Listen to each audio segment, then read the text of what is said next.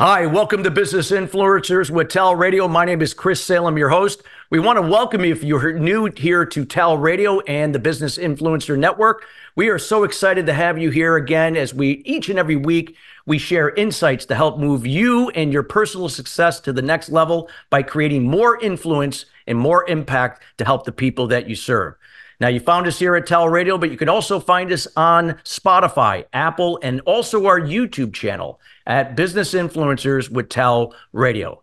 Today's show is being brought to you today by Alumni Direct. Alumni Direct is a new social media community platform dedicated to bringing alumni together from all different generational types and an opportunity to rekindle old relationships.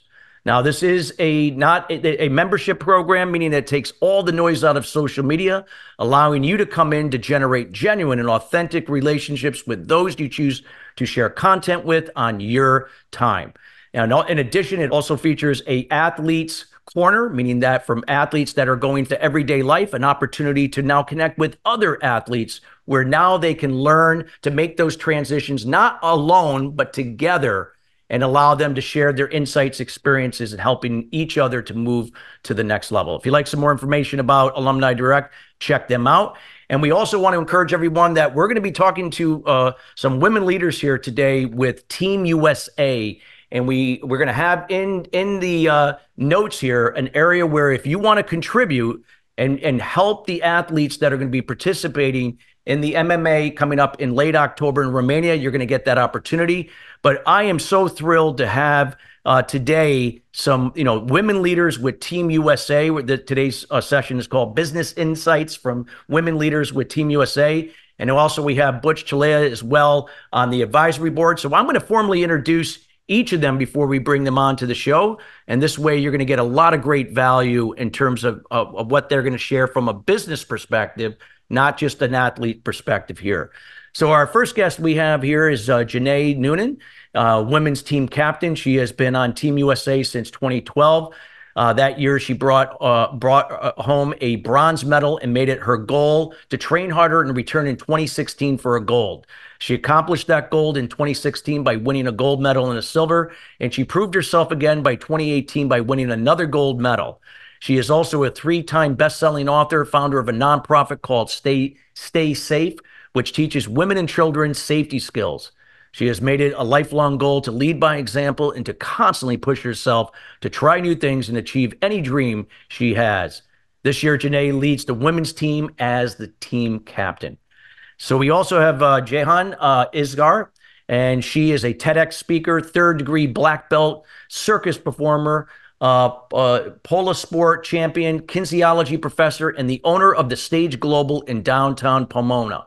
She has traveled the world teaching uh, pole and circus arts, and she believes that movement and liberation, uh, and her goal is to empower people in their bodies and to help build communities through a shared love of movement.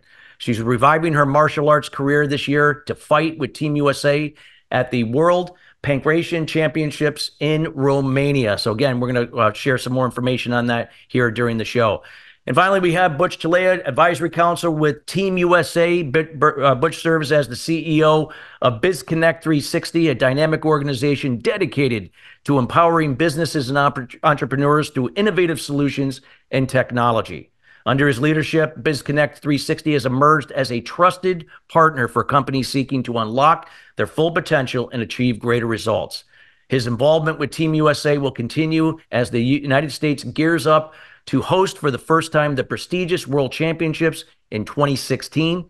His involvement with Team USA not only showcases his dedication to fostering growth and success, but also uh, his unwavering belief in the power of perseverance, discipline, and teamwork. And without further ado, we welcome here Butch, Jenae, and Jehan here today. How are you doing today? Hi, doing good. Thanks for having us. Thanks for having us on the show. Yeah. Well, I want to let you know this is a first that we've had three guests on at the same time for this show. So this is a first. So you guys have uh, broken the ice for that. We've had two, but not three. And uh, I'm so looking forward to learning from all of you here today. So what, what if what would we like to learn a little bit about? You know, from insights from women leaders here. You both are dynamic women leaders, both in business as well as in the athletes area what can you share that you've learned through your journey as a professional athlete and what that has, how you've taken that into the business world to lead others and create impact? Um, Jeanette, I think, uh, uh, yeah, go ahead. Yeah, I was going to say who's going to go first. Um, I think some of the things that I've learned through martial arts is that the pure determination just to keep pushing forward and uh, to figure it out. So sometimes in business, we hit a brick wall and we just have to figure it out. Well, sometimes in boxing, I get hit in the face and I just have to, you know, take that hit, take a deep breath, get back out there and, you know, figure out a different strategy really quick on the fly before I get hit in the face again. And um, so I just take that into business. Like sometimes we're going to get hit a little bit and we just got to take a deep breath and we got to figure out a different strategy and figure out how to work through and to get through it and and and make it work. I love it. So it's just again, you know, th- you're going to have like in business there can be distractions, there can be challenges, letdowns, but you're not allowing that to now distract you or derail you. You're going to get punched in the face, but you're going to get back up and you're going to keep going, you know, out there to win. And I love what you shared there. Jehan, how about from your perspective?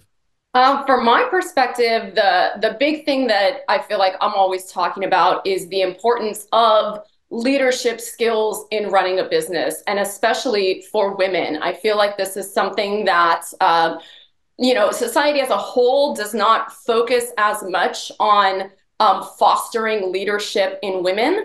Um, and this is something that I feel like being an athlete, I feel like, especially being in martial arts, I feel like I grew up with a lot of very natural leadership skills in terms of you know how to how to manage people space and time is really one of the things that i'm always talking about is that that is such an essential quality to have.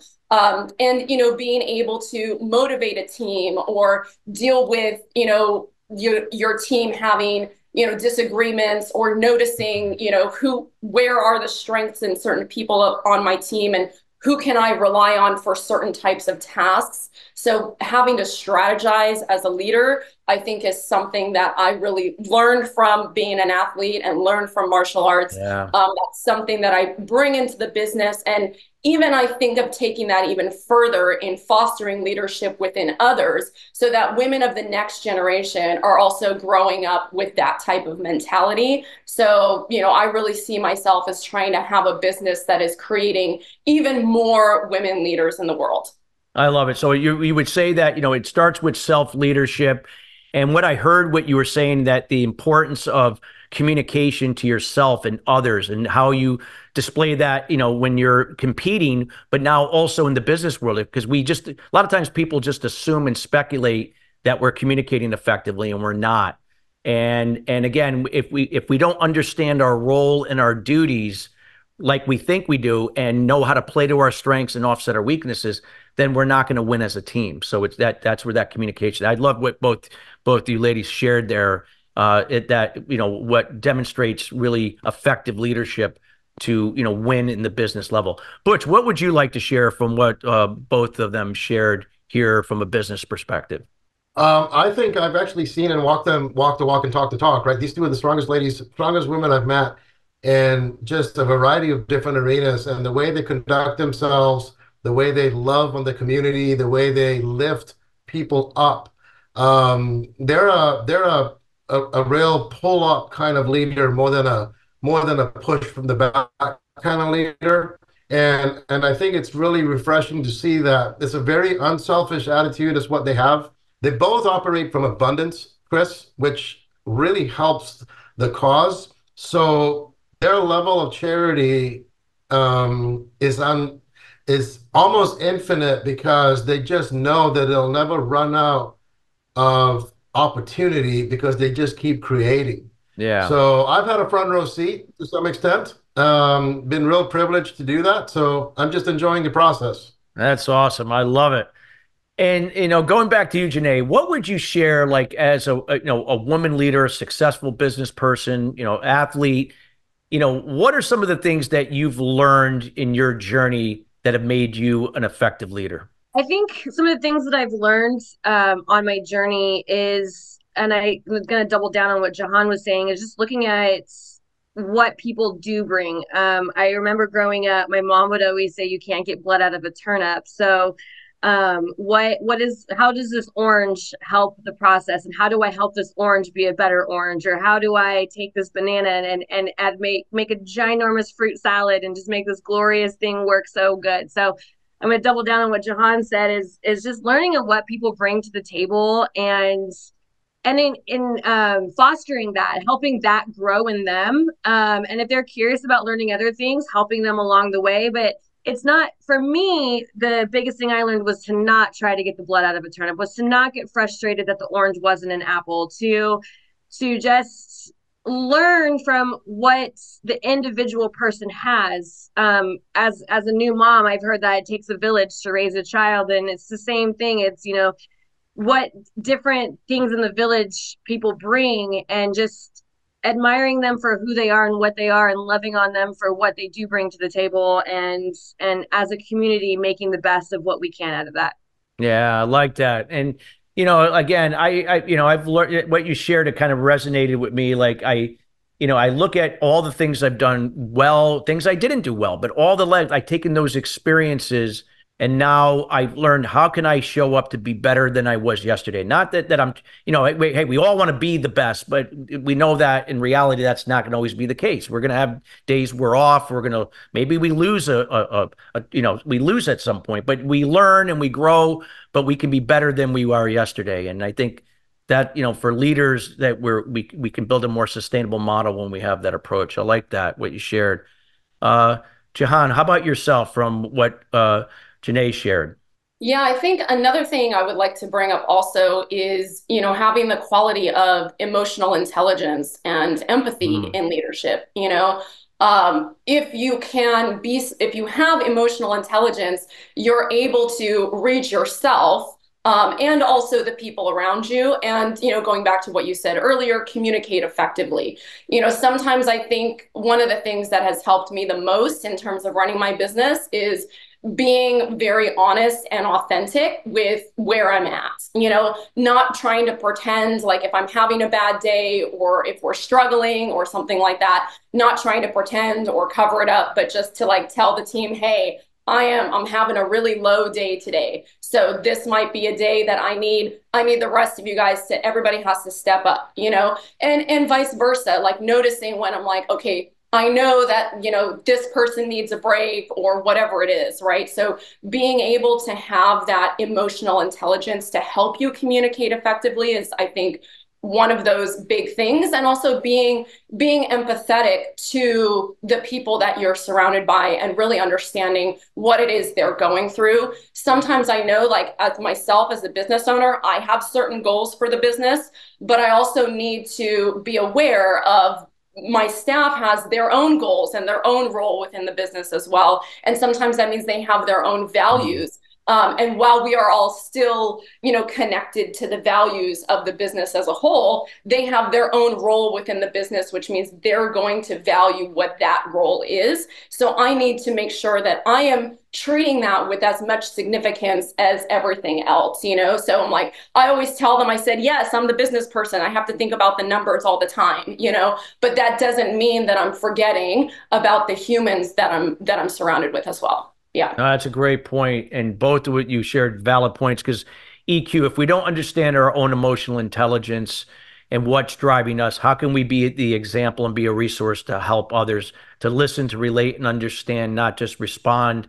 And knowing that operating from empathy and kindness that you stated is always going to be healthier to build a, a winning team environment versus just to be, you know, go out of your way and please and enable others that keeps them stuck that people learn from what they observe in others and grow from your resourcefulness. So uh, that's what I received, what you shared from there.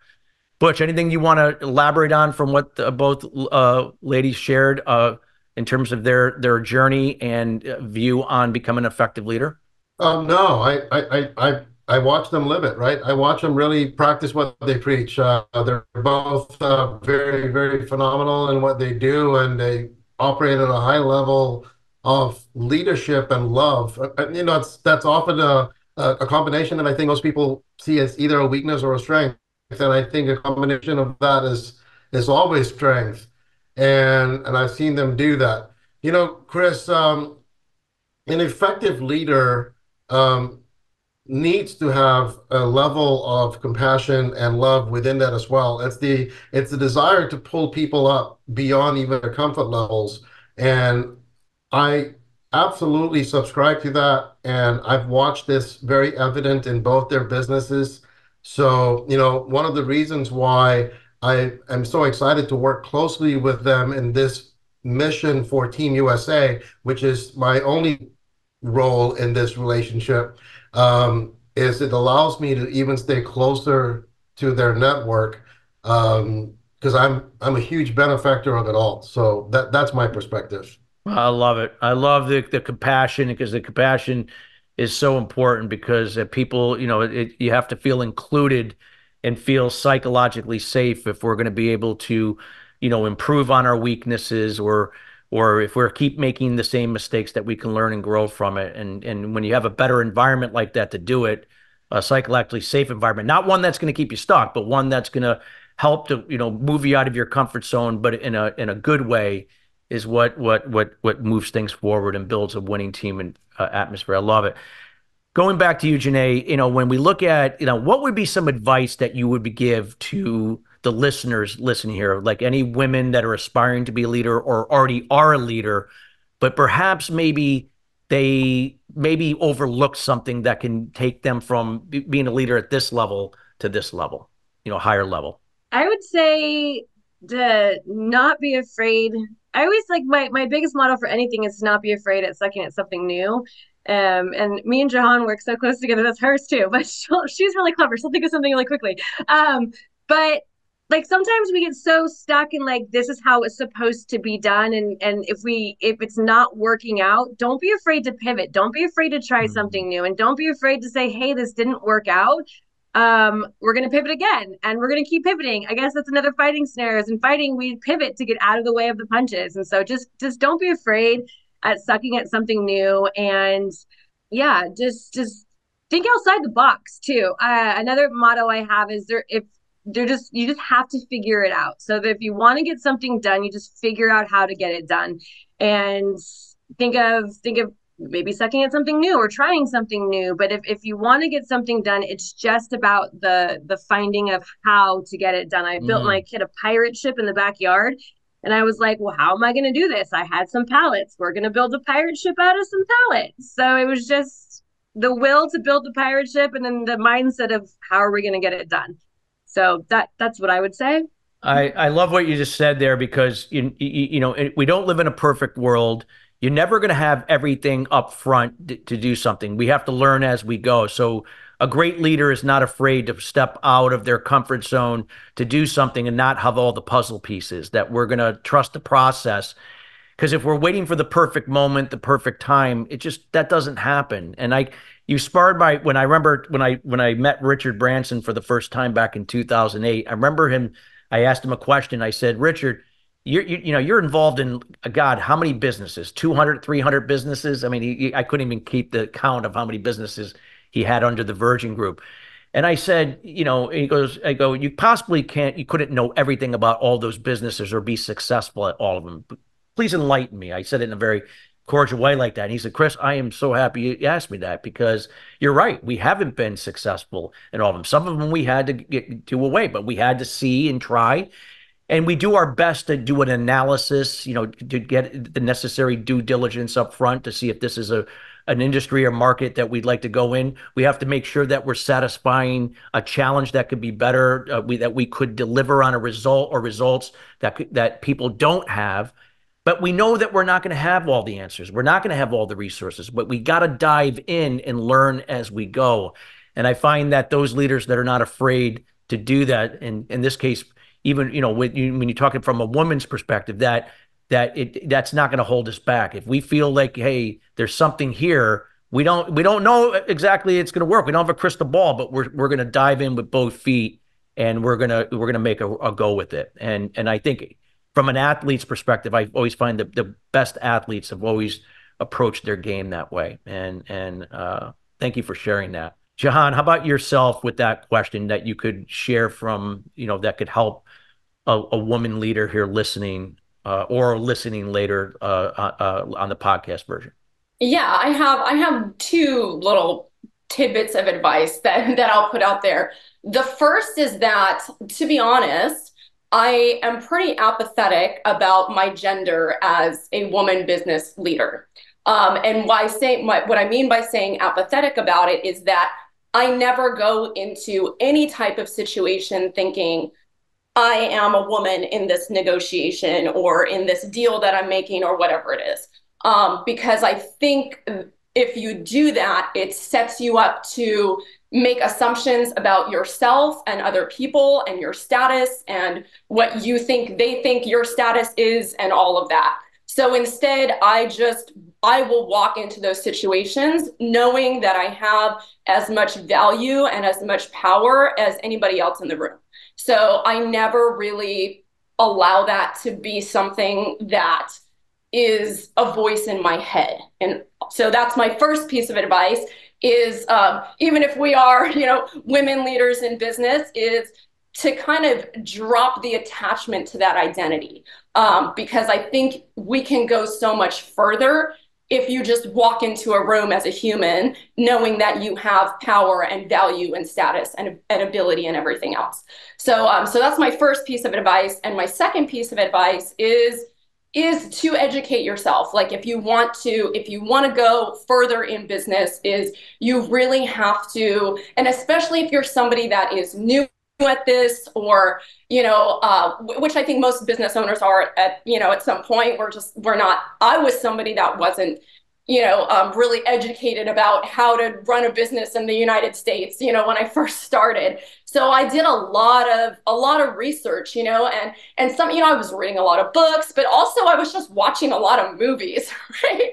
Um, and that was kind of the fun part about it is that there was, you know, I did have doubts about myself and my ability to do things. And so, you know, me being a performer, I kind of created this like this character of myself, you know, and I feel like that really helped me when I was first going into, if I was going into meetings or if I was going into, you know, do a negotiation or something like that. And I did kind of just say, like, okay, well, if I was creating a character, you know, like what would that, what would this like business boss character be, you know? Um, and I think, I think that actually really helps. Um, because like I said, as somebody who is a professional performer, I was like, is some of that like fake it till you make it type of a thing. But I really felt like it wasn't necessarily faking it, but I was just mm-hmm. tapping into a side of myself that I was unfamiliar with, you know. So it took a while to be like, okay, what is what is my costume here, and what is my posture here, and you know. And so I kind of I, I I let it be a creative process because yeah. for me, I am I'm a creative human. So I was like, okay, so let me be creative with this and let me like create this this costume and this character or whatever it is and then let me just own that um, and so that made it fun it made it less you know intimidating it made it less scary um, and you know it's so funny how much people believe you. Um, when you do that. I was like oh yeah okay we're buying this. Okay cool. Um, so so there was that aspect of it. But i think like do, doing the research you know like i'll say this when i work with performers. I always say if you're creating a character you got to do your research. So i did a lot of research. I watched a lot of movies. I read i read a lot of books about business some fictional some non-fictional. And a lot of especially things that I didn't necessarily agree with. I was like, okay, let me look at the people doing things maybe successfully, but doing them in a way that I would never do it. Let me mm-hmm. let me read about that right? Um, and that kind of helped me go okay so they're doing it like this but i have like a rebel brain. So my brain would then go like mm, okay what if i did it like this you know? So that was that was kind of my process. Wow. Great just great answers from all of you here i mean just great and i know we're getting towards the end of the show but i wanted to give you know butch any last comments like from what you heard from both uh, you know, Jenae and Jehan share like what what what stood out for you, Butch, and when it comes to you know inspiring other leaders. This case, not you know not just women, but even you know leaders of male and female. Perfect, and thank you for that. So I'll I'll say this, like you know, the, the, title of the show obviously is their influence that they bring and the leadership that they bring to Team USA. So that's exactly what we're talking about here, right? Everything they just described in their personal lives and in their professional lives they're now bringing to the athletic arena and they're leading a group of about 40 other women uh, a lot of which are competing for the first time at these world championships. So, Chris, what these women do, leading from the front, they're dragging 30 women behind them to go dream bigger, live bigger, think bigger, achieve more. But obviously, they need the help of all of the listeners, all of the supporters, all of the community uh, to help fund that so that they can go do the more important things in life, which is lead and change and inspire the empowerment even beyond the games. Yeah. So, you know, simply put, there's about a quarter million dollars of financial need there. And we're not looking for three or four people to be able to fund that. We're looking to make this inclusive and have maybe a few hundred people from the community or nationally or around the country listening to the show go, hey, dollars to that cause, $2,000 to that cause. And you know what? A hundred companies doing $2,000 um, is going to give us the ability to go do everything that the two of them spoke about today. And if you notice, they spoke for 28 minutes, not mentioning the need for money. Yep. Because that's where their minds and their hearts are. They're on people. They're on Here, hearts. here to They're serve. Here to serve. Yeah. Well, this is great. I, you know, we we want to make sure all of you listeners here. I mean, you you've received a lot of value here, a lot of great insights from both uh, Jenae and Jehan here, including Butch and all the things. We highly encourage you to support Team USA. You know, do this. I mean, there's so many things that, that you know that are that you, what you heard here. It's not just the sport itself. It's it's the it's the impact that it's giving to the people in so many different ways, and the coming from these ladies' values and and how they're inspiring people to step up in their lives in every role in duty. So it's not just about the sport itself. Wouldn't wouldn't it be great to be a part of that? You know, to support that that that that you could help them you know achieve these things that that they're looking at this you know not just to win in Romania but how we're going to win overall and impact lives. So we highly encourage everyone participate. You become a, do- a, a, a donor whatever level that is. Be a part of this and be a part of of the great impact that Team USA is making in so many different ways again, we're going to make sure that link is here in the show notes so that you can take advantage of it. You could also reach out to Butch direct. We'll make sure Butch's contact information is there as well as my own. So this way, if you have any questions, and with that being said, I want to thank all three of you for taking the time to be here today. Thank you so much for being here and, and being a part and sharing with us. Thanks, Thanks for for having having me. me. You've been phenomenal. Thank you for all the leadership and, and care and support that you provide to us and our organization as well. Well, thank you. And I'm looking forward to having all of you on for a future show here. Well, we'll have that done well before the, you know, the actual games t- are taking place uh, in October. And we want to thank you listeners each and every week joining us here at Business Influencers. Again, we are committed to bringing in people, as you've seen here today, sharing from their hearts, looking to serve you. This is about you and how how we can create more impact to elevate your personal and business success to the next level. And it's always about people first and before profits and before productivity. So again, if you want to participate, feel free to reach out to us. Until then, everybody, have a great rest of your day, and we'll see you next week. Take care.